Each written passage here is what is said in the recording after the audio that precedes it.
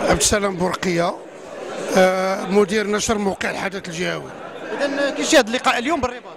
بكل صراحة هذا اللقاء جا في جا في الأوان ديالو وكان لقاء ديمقراطي والأستاذ الحراق كان عطى واحد التوضيح على واحد على هذه المذكرة هذه اللي بكل صراحة خرج الجميع مرتاح الجميع تيعبر على الارتياح ديالو وتيتمناو التوفيق لهذه التنسيقيه باش يمكن لها تمشي بعيد وتصح واحد المجموعة ديال ديال النقاط اللي هما بكل صراحة خاطئين.